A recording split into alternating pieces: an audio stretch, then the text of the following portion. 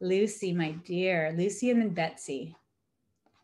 Yeah, I just want to ask a question about that. Gina, do you do any work to uh, to let go of negative beliefs? Like a lot of people in law of attraction teach about how you need to release your negative beliefs about yourself, whatever, to be in a higher vibration. Yes. So here, yeah. here's the thing I'll say about that. As Abraham says, a belief is just a thought you keep thinking over and over again. And if you think it for long enough, you'll believe it because at, thoughts create things. So as you think something over and over and over again, you'll start seeing evidence in your physical reality that says, see, that's true, see, that's true. And then it becomes more cemented as a belief. Now, a lot of people are about trying to take those beliefs and write it down and write a different belief, like a counter belief. And mm-hmm.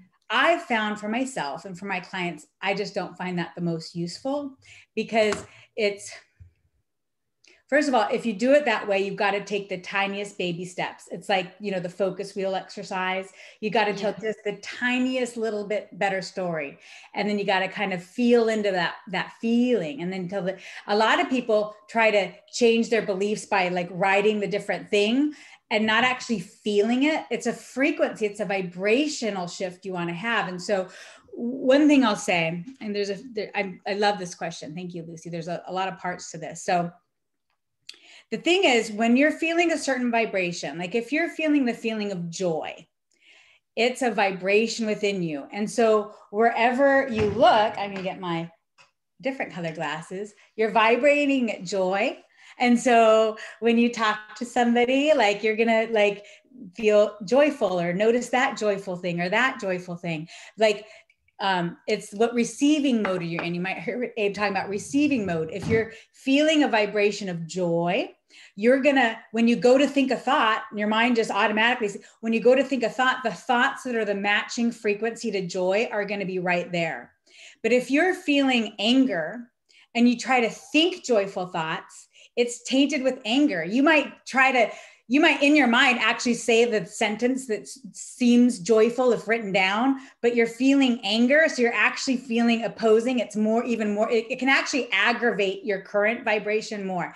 That's one reason why like you'll notice in all these exercises so arlene i'll take her as a beautiful example. She had this thought of like i'm awkward i'm weird people aren't going to like me um, i'm not good enough right so those were the thoughts she was thinking because she was tuned to this frequency so what we did is have her think those thoughts to get the feeling and then put all of her focus on the feeling.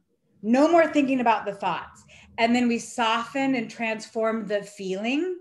And then once she was feeling peace and self love and calm, then she automatically, when she thought about interacting with people in this group, was like, oh my gosh, I love being weird. I love when other people. So those thoughts are already there. Like, and then it's it's recognized as not just a belief but a knowing it's a knowing it's a knowing she's connected with her knowing and automatically has the thoughts that are it's beyond a belief and knowing is beyond a belief sometimes we try to fool ourselves right and mm-hmm. so when you mm-hmm. really get connected to source you're connected to the knowing and the all that is there and then that's all there so when i when i mirrored back well your old belief arlene like isn't that bad or when i when i went back to rhonda but aren't i'm not good enough and that that old belief does not resonate with her now vibration and she can see clearly the absurdity of it. Not just knowing i know that's a junky belief but i know that's so not true.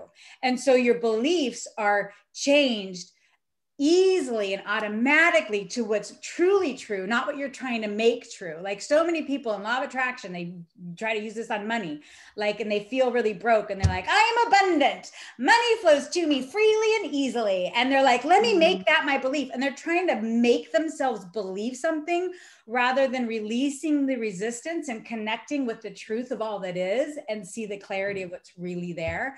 And then as they're vibrating in that, they're going to have experiences throughout the day that just back up and mirror reflect that knowing that they've connected with. Does that help and answer your question?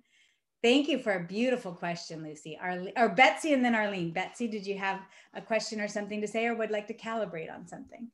Um, well, I had wanted to share something um, about what you were talking about the feeling the feeling, but not getting into the narrative Yes. That um that I've been stymied by that for so long, not understanding that oh my gosh, look at that little face. I know Lucy's little daughter is so freaking cute. Oh, Little doll face, like a living doll.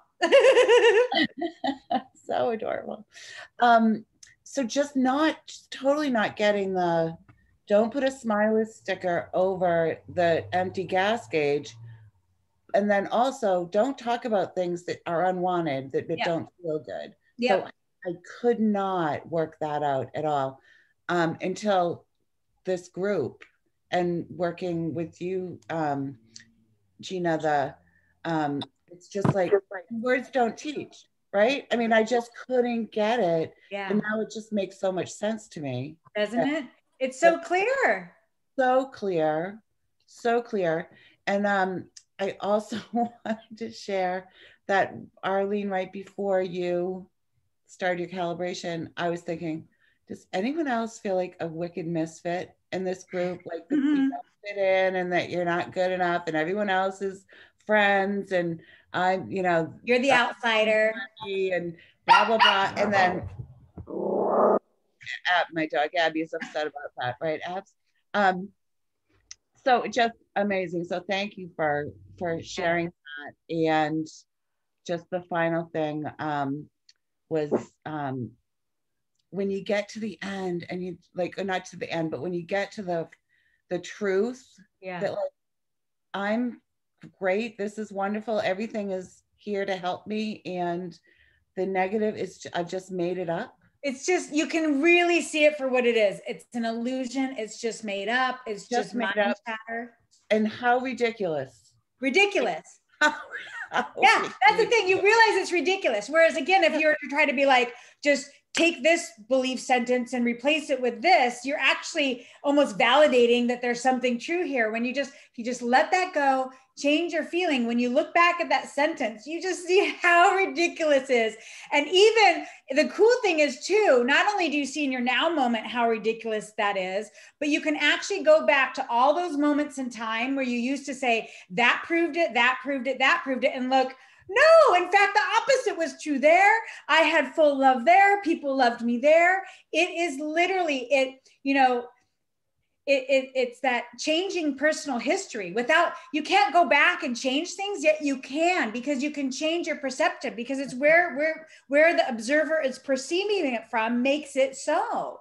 And so you can literally change the story on how bad or traumatic some, something might have been like when lucy had her calibration like you know talk about all these things in the past that was like felt like abuse or this that and the other. It's like the best thing for her it was like basically called to her from her so that she could learn and expand and grow and get an even deeper knowing of her inherent well-being and security and abundance and love and everything's available to her.